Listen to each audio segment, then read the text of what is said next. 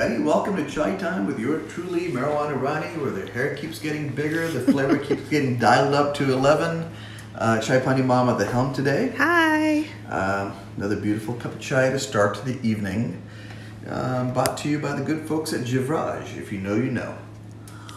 Hmm. Honestly, they have no idea who I am. I just love their tea. Fantastic brand out of Surat.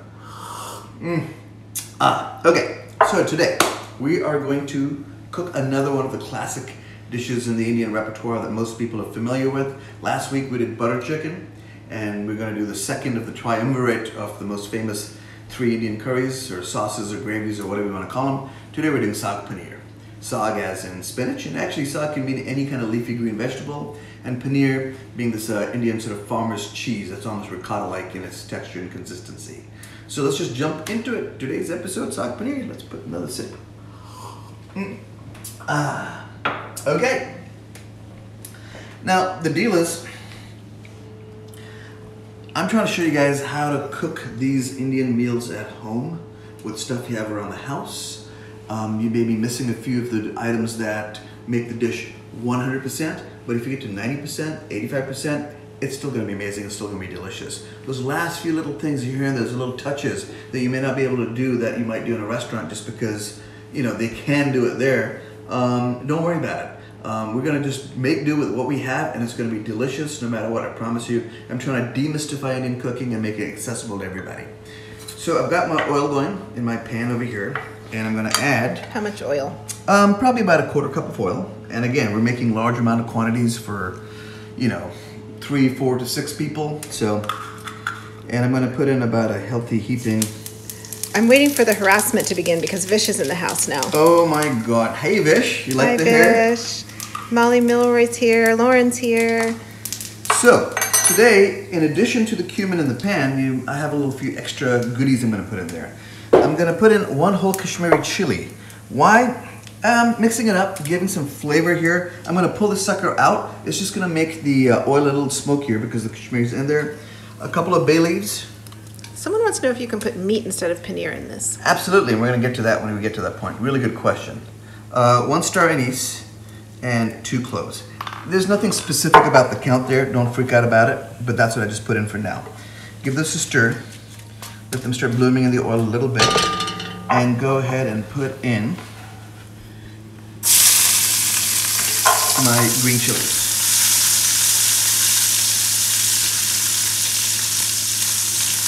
Those are just serranos. Those are, that's a serrano. I just took one whole serrano, de-seeded it, chopped up, and put it in there. Whew! Got maced by it. um, this pan gets really hot. Um, this is another one of those Staub cast iron pans, and it's a real heavy bottom, bottom pan, and it caught me off guard by how sizzling hot it got. It's a wok shaped pan, which is going to work perfectly for this dish, but um, it definitely did that. Okay, next thing in, ginger garlic paste. Is this No. something you made? Yeah, this is something I made. I just put it in this jar. I'm gonna do a tutorial on how to make ginger garlic paste. It keeps coming up a lot, as in how do you make that? How do you make green chutney? How do you make a few of these foundational items for Indian cuisine? So I'm gonna show you how to do that. Again, I mentioned this before. It's 50-50 peeled ginger to peeled whole garlic. Just literally take two handfuls, one of each, dump them in a blender, add a little bit of water so it starts buzzing, and then spin it up and you've got yourself ginger garlic paste. Vish wants to know if the super hair is part of the recipe. Is it necessary for this recipe? You can do it with less hair, but this takes it to 11. All right, so you're gonna put a healthy dose of ginger garlic paste in there, about two healthy tablespoons. This, my friends, is what gives our cuisine flavor. I've had a number of people call and ask and say, why am I missing something? Why am I missing something? And I ask them, did you actually use ginger garlic paste?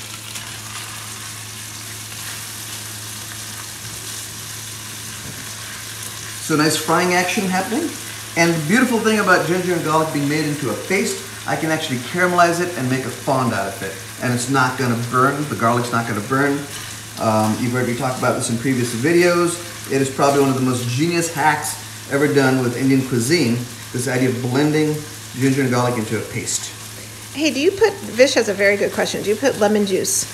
In my ginger In garlic your- paste? No, normally I don't because I'm making it almost fresh every time. But I would imagine if I was trying to make a batch of it and preserve it, a little lemon juice would help that along a long way. Or sometimes also, I believe if I put some oil in there, when I'm blending it, the oil will also help sort of preserve the ginger garlic a little bit longer. And 99% of the time, you're frying the ginger garlic, so having a little oil blended in with the uh, paste is probably not going to hurt it at all. Hey, Chai Pani Chef Daniel Peach is here. Daniel Beach!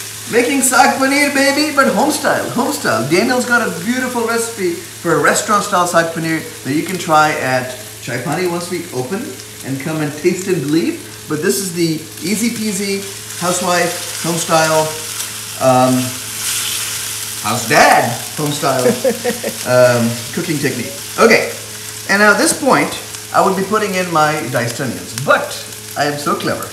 I went ahead and pre-fried my red onion. And the reason I did that, so that this cooking show doesn't take an hour, we can do it all in 25 to 30 minutes. It actually only takes about a 10 minutes or so to caramelize the onions to this point, but it's just extra time that we don't have to waste on screen. You know what the deal is, the recipe's on spicewalla.com. So, boom, done. And this, again, another brilliant hack is if you're in, a, in the mood to fry off a bunch of onions, go ahead and dice up 20 onions, 30 onions, and fry them off batches. Rosie, in the house, come here, girl. Rosie's here. Go ahead and fry off your onions. and fry them Sorry.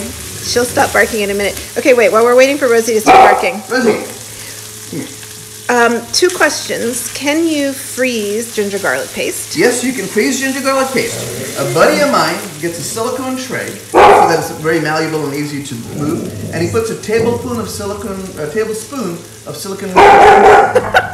Let me talk to the dog. Rosie, come on over, girl. Come here. Hey, Real life, at home, quarantine. Come here. Come here. Come here. Sit. Say hello to the camera. Hi, Rosie. There's my girl. There's my girl. Say hi. All right.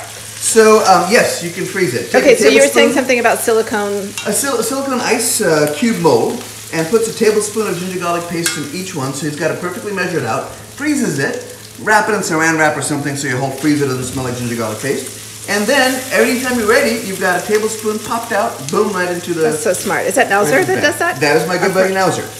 All right, guys. Okay, wait, there was another question. How long does it last in the fridge? Ginger The- garlic paste. In the fridge, in this, uh, probably about a week. That's just a mason jar. Just just a mason jar. If it's airtight, if you were to freeze it, then obviously much much longer, months at a time. And if you were to add a bunch of oil to this, as you blend it into paste instead of water, I would imagine it'll last longer than a week in the fridge. And here's how you can tell: if it smells metallic when you open it and has a, a real rancid smell, don't use it. Done. If there's mold going on the top, Maybe not. maybe not. Maybe not. Another question. Can you buy this Spicewalla apron anywhere? It will be coming soon to our website and our merch section. We're actually working on it as we speak. Stand by. I love I love these questions. Anything that makes Spicewalla uh, go out into the world, we love those questions. So they, Okay, they would I find it cook, out. honey. I gotta cook. These are, asking but the apron is so gonna be able much more important. All right. For those of you that know me, you know I love putting my uh, cilantro stems. And not only that, I found a little funky cilantro in the fridge. There's nothing wrong with it. It's just wilted and bad. I'm not using it to decorate. Waste not, want not. Let's just throw it all in there. Just a rough dice. This cilantro doesn't matter if it bruises or not, because the whole thing's going into the frying pan and adding that little extra bottom layer of flavor that I love so much when I'm cooking. Now again, if you got that thing with the gene where you can't do cilantro, don't worry about it. Don't put cilantro in there. It's not integral to the flavor. It's just a little Meherwan Irani hack where I like getting that foundational flavor. Okay, let's get this out of the way. Let's get this out of the way. And let's add now our whole spices. We're cranking along. Hi, Look Sam. Hey, Sam. Is the hair big enough? Is the volume up enough? All right. Come on over, honey. Check out this magical spice cave. Do do do. And Look at are to spice cave. And then roasted coriander powder. Spicewalla land. Uh, we're gonna do garam masala, uh, cumin powder, Kashmiri chili powder, and diaspora turmeric. I mean, any turmeric works. I just love this particular brand.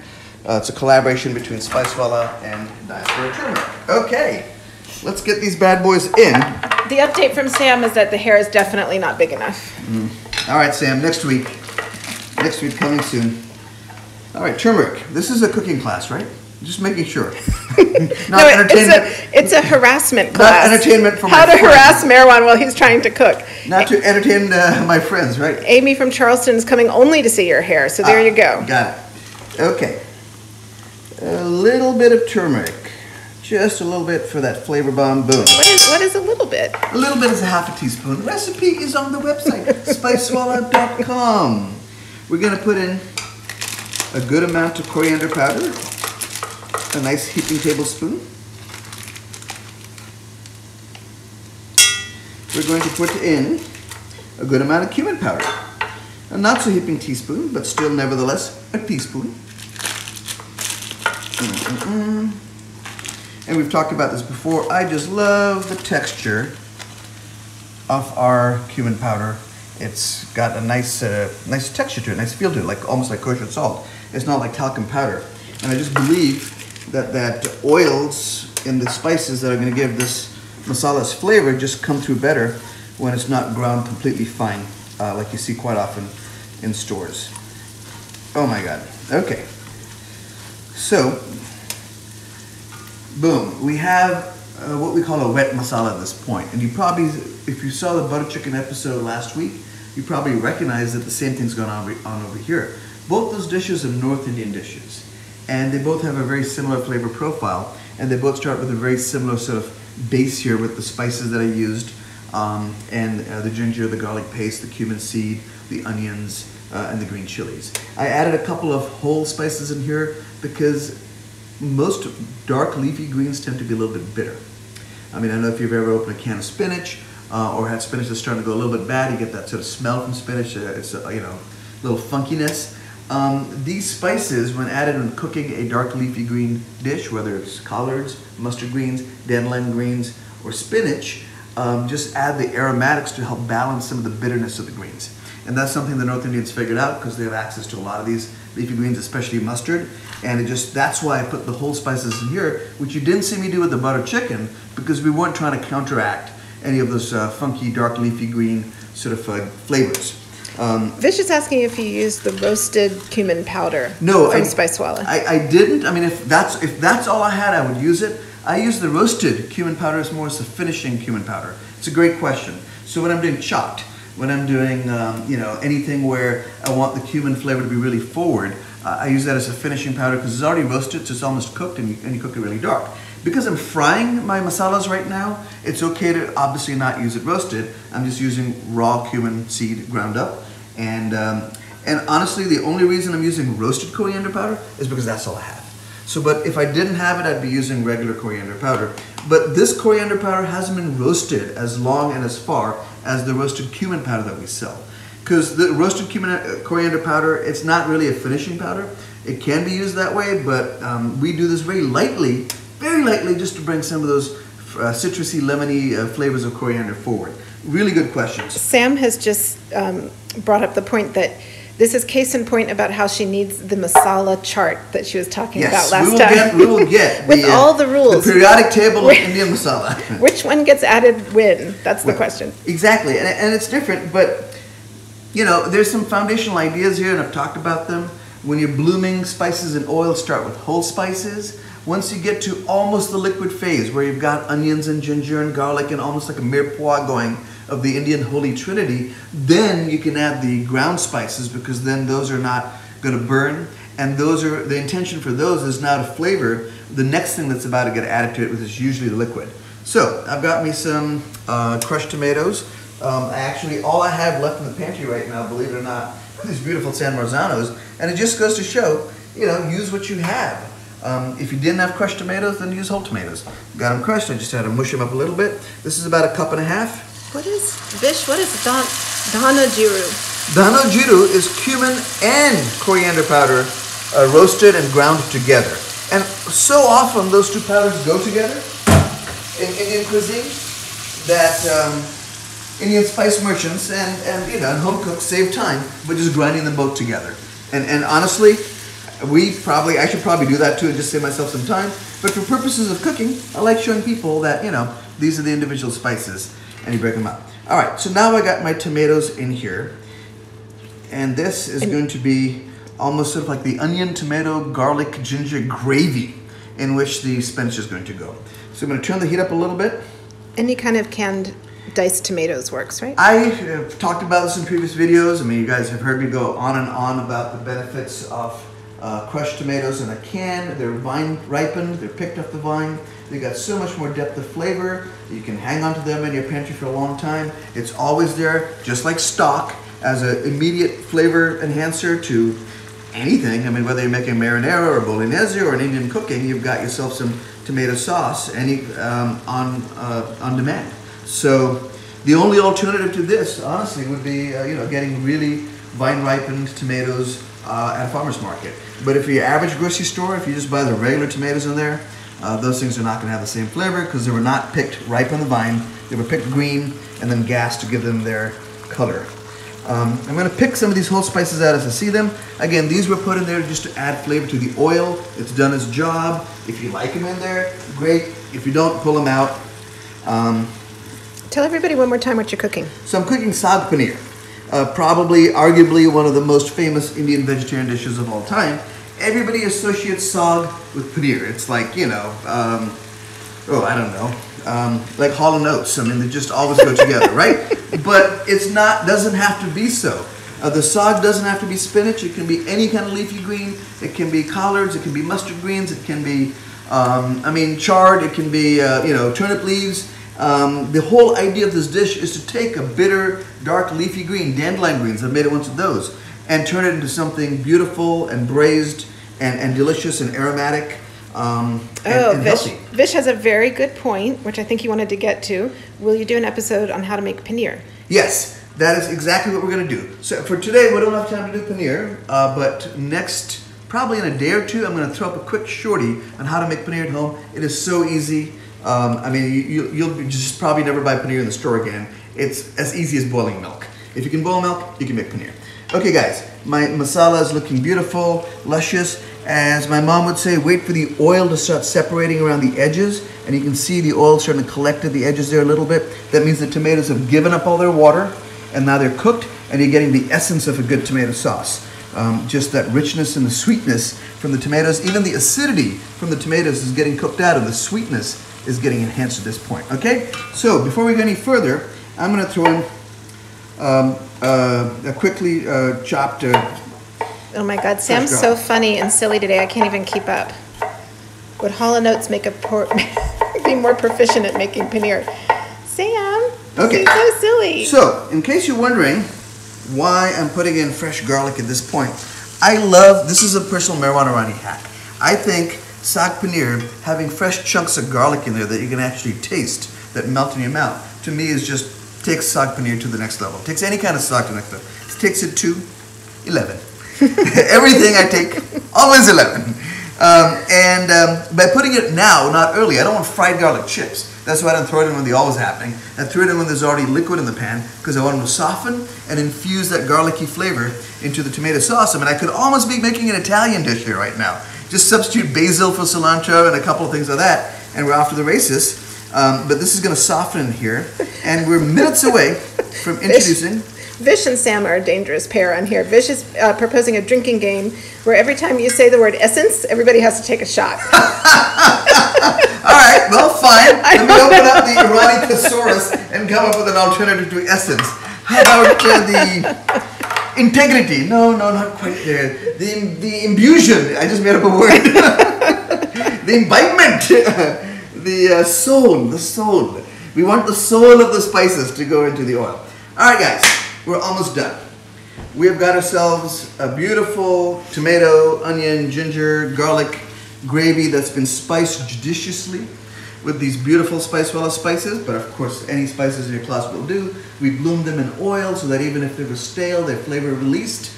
And we've got the foundation for a lot of fun things that can happen right now. What we're gonna do with this is dark leafy greens. Let's see what's in the fridge. Sam, don't ever apologize for being silly. It's the best. Oh my god. Okay. Look at all these different greens. I'm trying to make this easy for everybody at home. Yes, we could buy a bunch of spinach, blanch it, chill it, create a whole big mess in the kitchen, all kinds of dishes, just so that you can get a perfectly toothsome saag paneer. Or you can just look in your freezer section, and you probably have a bag and a half of frozen spinach, like I do, and an almost wilting half done bag of full leaves. That might be a little past wilting. Well, let's see what you're doing, and let's throw them in there. No, they don't smell weird. Starting to just turn. You can see the little spots in there here and there. That's so funny. Somebody's saying we have to do a drinking game every time you have to explain canned tomatoes. That's the second, So that one's second in. most explained thing. done. Let's just wilt those suckers in with all of this, and I'm gonna add to that whatever I got left over here. And this is what's so wonderful about cooking at home with Marwan. It's kitchen sink, baby. We take stuff that has humble, humble, humble, non-restaurant origins, like this 365 brand spinach, and we're gonna convert it into something beautiful and delicious with what you already have at hand. If I didn't know how to do this, I just wouldn't even cook anymore. Because this is what makes it fun. Now, I know it looks like a lot of spinach going in there. It's gonna reduce down very quickly, as spinach tends to do. Look at that. Right? And this would be a good time for me, and you've heard me talk about this a lot. Cue shot. Remember I'm talking about adding salt as you cook, right? I mean, there was already some salt added to the onions when I pre-fried them. So that's why I didn't put a whole lot of salt in the rest of the way. But now I'm gonna add some more in and get the spinach going. And you can see what I'm doing. I'm essentially taking that tomato gravy and fully integrating the spinach and the tomato gravy in together. Um, even if your spinach is a little bit frostbitten, even if it's got those ice crystals up in the bag because you opened it, used half of it, and then threw the rest in the freezer and forgot about it for six months, it's okay. There's the liquid in here is going to be just fine because we're actually going to add even more hot water once this thing is up and going to help the spinach cook.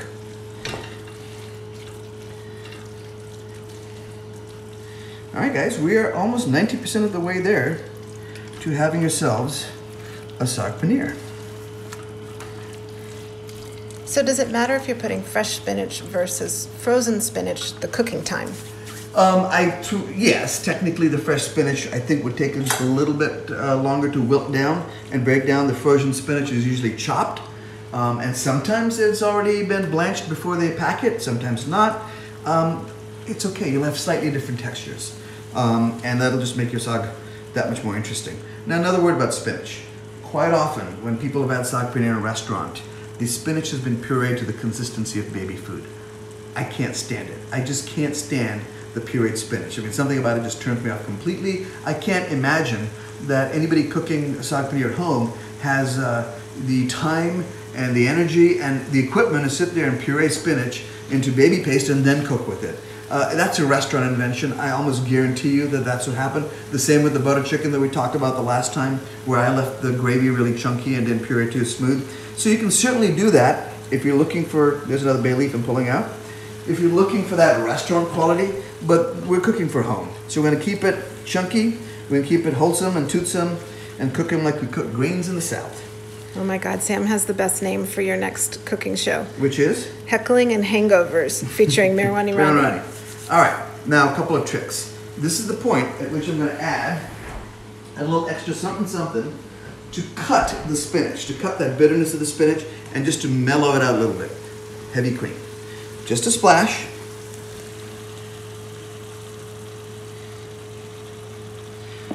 All right. And this heavy cream is going to bring all these flavors together, meld them together, take the edge off the spinach, take the bitterness out of the whole situation, and just give it that um, saag paneer um, flavor and texture that you're so familiar with if you've had saag paneer in a restaurant before. Um, if you don't have milk, heavy cream, use half and half. If you don't have heavy cream, just put a little splash of milk in there. The idea is the same, but heavy cream just gives it that wonderful unctuousness. I didn't say essence Vish. Diaspora's here. Look, we used your, we used your turmeric. Okay, and now I'm gonna lighten this up with a little bit of water. Kind of get hot first. Can you use yogurt if heavy cream's not available? I wouldn't use yogurt in this dish. No, not at all. Just you want to use heavy cream. You don't want anything that's um, from you know got acid in it like that. Um, it, it, it wouldn't work. I know. That's somebody saying that was a big splash of heavy cream. That's what I thought too. Yeah, I mean, you can go light, you can go big, you know. It's quarantine. It's quarantine. We're going Have a little fun, get your cream on. And look how beautiful that is. See what the cream's done? It's just about the color. Okay, wait. While you're filling that water, somebody's been asking about this brush. About This this what? beautiful brush. Ah. Look at this thing. It's made by our friend Andrew, who's an amazing woodworker. Stack Woodworks, S T A C K Woodworks, right? Isn't that the name of his Stack? Woodworks. They're All local here in Nashville. A little bit of water in here. Somebody was asking what it's for. It's just for brushing off your cooking station, your Yeah, crumbs. Exactly what it's for. See that? This action. Boom. We love it. Love it. How much water did you put in? I put in about uh, probably about a quarter to a half a cup of water, just depending on how much you got in the pan. Uh, again, it's on the recipe on the blog. Um, I hope nobody's trying to follow with me as I cook this, because you'll be completely lost. Because I would be also if I was following myself cooking. Um, Because half we're just time- heckling. It half the time we're, you know I feel like I'm more in a variety show than I am in a cooking show, but um, there you have it. So all right, guys, we're so close to being done. I would give this. I put a lid on this, turn this down low, and let it simmer for about ten or fifteen minutes. Um, and when it's done simmering, right, well, hang on, hang on. Before it's done simmering, right at this point, before the simmering begins, this is where I put the garam masala. Again, cue another shot, drinking game. No one's talking about garam masala as a finishing spice. But yes, uh, I like using it towards the end. And again, if you're saying, well, this is a really familiar with the, you know, to the, because you did this in the butter chicken episode. Like I said earlier, these are very similar dishes from the same part of the country. Sort of have the same ideas in terms of the spicing and the seasoning and the flavor. Um, it's just obviously a different dish, but we're going to be feel and taste familiar if you had our butter chicken the other time. All right, so now that's incorporated, and all that beautiful cinnamon and star anise and black pepper is all blooming in there and adding all kinds of wonderful aromatics. And then, if after simmering for about five minutes, I would add the paneer. Now, fear not, in the next episode, I will make fresh paneer. And in case you're looking at this and saying, that doesn't look like paneer, it isn't. I didn't have paneer with me. I didn't have time to make it for this episode. I'm going to make some tomorrow and throw it up so you can see how to do it. But what I found in the fridge instead was halloumi. And the nice thing about halloumi, you don't have to zoom into this. Yeah, I wanna see it. the nice thing about halloumi is, like paneer, it's a soft, firm cheese. And when you grill it or cook with it, it softens a little bit. So I'm going to put that in here. We always have halloumi in the fridge because it lasts forever. And the nice thing about this dish is that it doesn't have to be paneer. So somebody else bought it. What else can I put in with sag instead of paneer?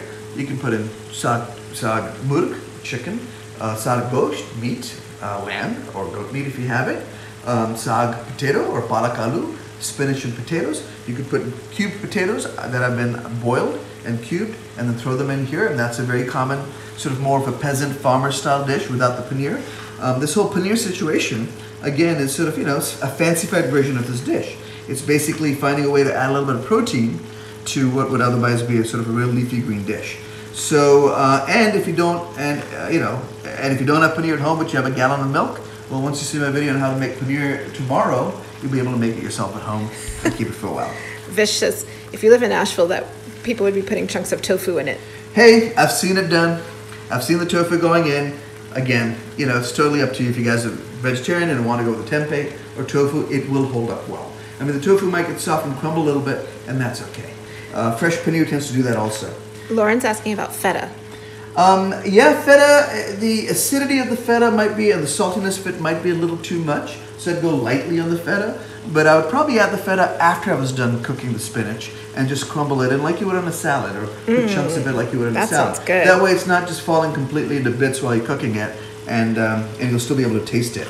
Um, otherwise, if you throw it in there and stir it around, all you'll get is just the saltiness and the acidity of the feta without any chunks of feta. All right, guys. Now, I would, like I said, let this braise for another 10 or 15 minutes, but you guys get the general idea. Let's plate it up and show you how I'd like to finish this dish if I was plating this dish. Let me get.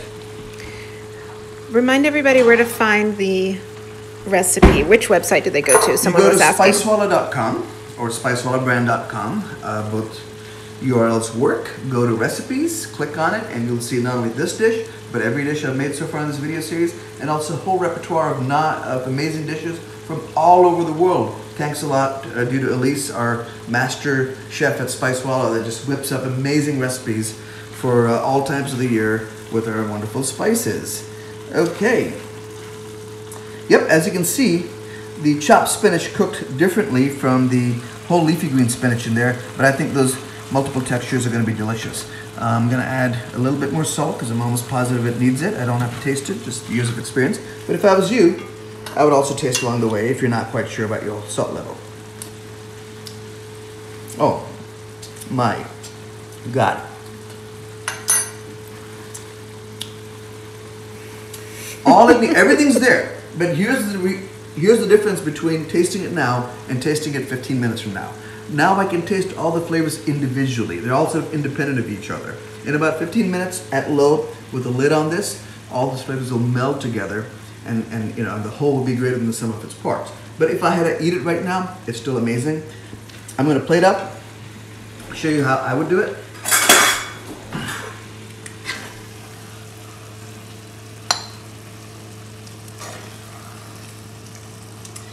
Get yourself some nice healthy portion. Mmm, I can already taste.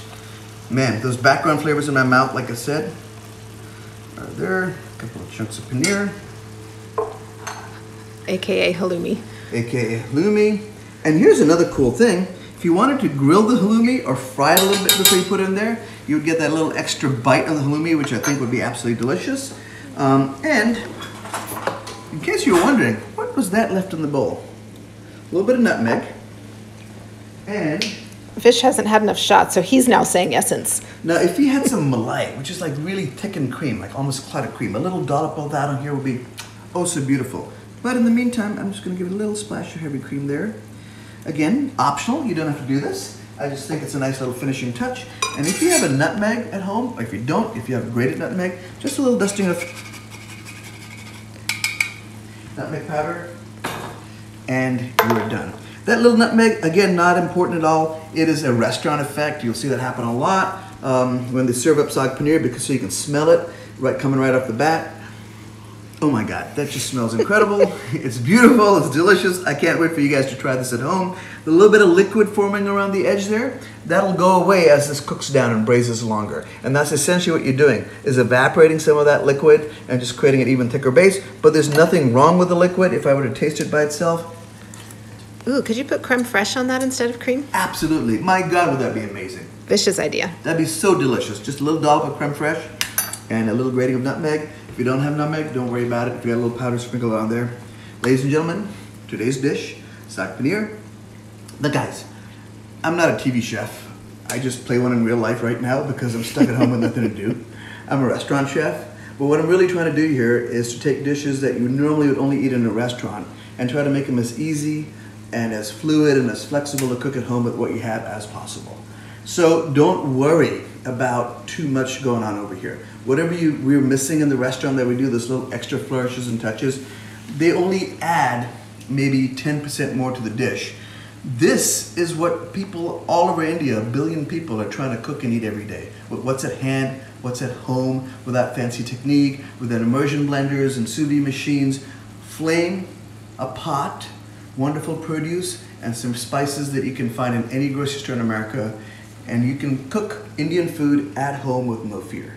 So that's what I'm going to keep continuing to do from now on till this is over and I have to go back to my real job is show you guys how to make amazing, delicious Indian food that a billion people enjoy every day, and you can do it at home, I promise you.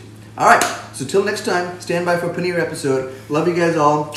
Thank you for the heckling. All the good see Vanish and Sam and Farhan and whoever else out there. Uh, shout out to all for friends. Um, uh, you know, like I said, nobody sponsors any of this, but I love giving shout outs to friends and people that I love. Spicewalla brand, the stop pot over here, Chai Pani Mom at the wheel, and some Surti chai thanks to Jivraj. See y'all next time. Bye, everybody.